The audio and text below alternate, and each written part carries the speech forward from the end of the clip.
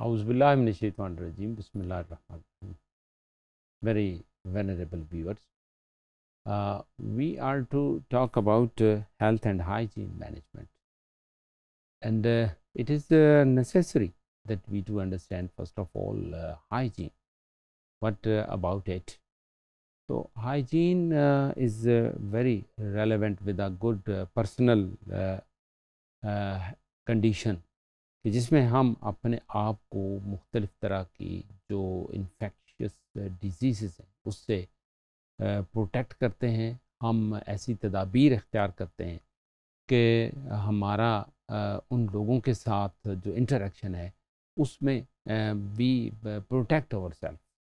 اور اس کا بہت سارا یعنی یعنی دار و مدار اس بات پر ہے کہ ہم اپنے لیے we are becoming more conscious اور ہم اپنے آپ کو خود پروٹیکٹ کریں۔ جتنا ہم اوائڈ کر سکیں we to keep at distant and then we to maintain our body conditions very safe اور اس میں سیفٹی لوشنس کا استعمال ہے اور پھر یہ ہے کہ بعض اوقات یہ کہ امیونائزیشن کرانا بڑا امپورٹنٹ ہے۔ ہم اپنے آپ کو اپنی ہیلتھ کا خیال رکھتے ہوئے اپنے آپ کو جیسے کووڈ نائنٹین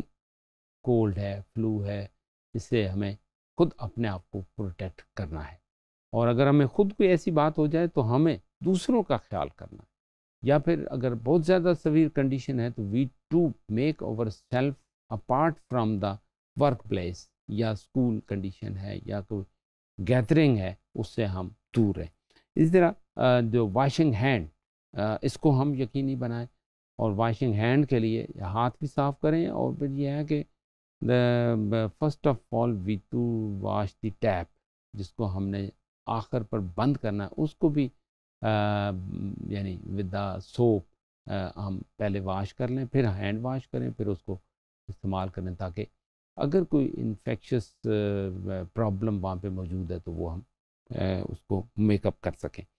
اور اسی طرح مینٹیننگ گڈ پرسنل ہائیجین یعنی ہم اپنے خود ایسی چیزیں اختیار کریں۔ جیسے کلینینیس ہے اور اپنے لباس کو صاف رکھنا ہے، اپنے جسم کو صاف رکھنا ہے، نہانا، دھونا اور اس کو ہم مینٹین کریں۔ اور باقی لوگ جو اپنے آپ کو مینٹین کرتے ہیں یا اپنے آپ کو مینٹین نہیں کرتے، اس کا ہم خیال رکھیں۔ اور body cleaning is very useful and important for the hygienic condition. اور اس کے لیے پھر یہ ہے کہ دا ریگولر بات اور پھر یہ ہے کہ with the good manner while using soap اور the good use of shampoo and others which are very necessary and helpful for اس اور اسی طرح واشنگ ہینڈس ود سوپ اور ود ریکمینڈیڈ سوپ بعض اوقات یہ ہوتا ہے کہ ہم low cost substandard soap use کر رہے ہوتے ہیں جس سے ہمارے ہاتھوں کو اور نہ کپڑے والے دھونے والے صابن سے یا ڈٹرجنٹ سے بعض اوقات یہ ہے کہ ہم ہاتھ صاف کر رہے ہوتے ہیں، تو that is not helpful and helpful to maintain hygienic conditions تو سوپ وہ جو ریکمینڈڈ ہے، جو یعنی باڈی کے لیے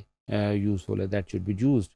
اسی طرح برشنگ دا ٹیتھ یہ بڑا ضروری ہے کہ ہم اپنے دانتوں کو کس طرح سے صاف رکھتے ہیں، اس کو مینٹین رکھتے ہیں، اور اس کے لیے کون سا وہ جو ٹوتھ پیسٹ ہے، وہ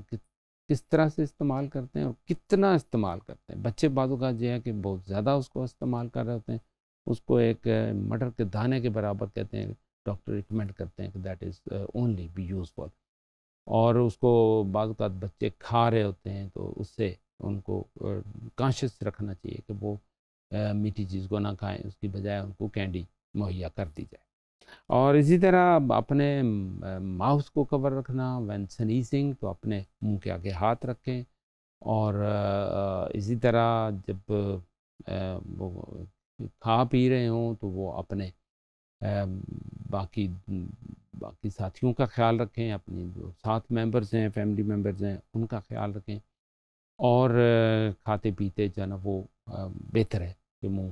کو بند رکھا جائے اور پھر کھانا پینا جاری رکھا جائے۔ اور اسی طرح washing hand and other parts اور باقی کام کرتے ہوئے جب ہم اپنے